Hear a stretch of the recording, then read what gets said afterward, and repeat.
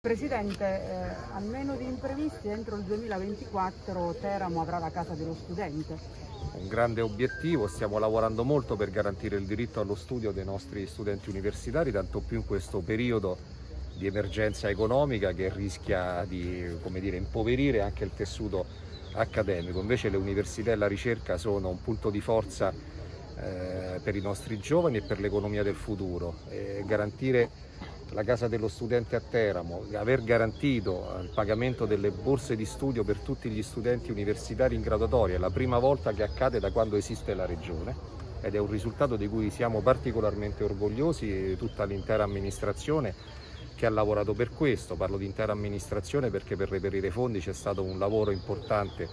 del Consiglio regionale che ha votato le leggi con questi indirizzi, della Giunta che ha reperito i fondi nell'ambito delle varie economie, dei, dei, dei diversi fondi disponibili, quindi abbiamo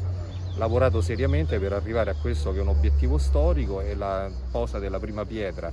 che ristruttura questo edificio storico che fa parte dell'identità del paesaggio urbano consolidato della città di Teramo è davvero un, un salto in avanti molto molto importante. Perfetto, grazie.